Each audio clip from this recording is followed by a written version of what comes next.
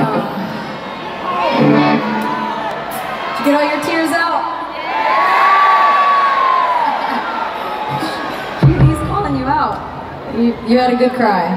Yeah, it's good. It's the best thing.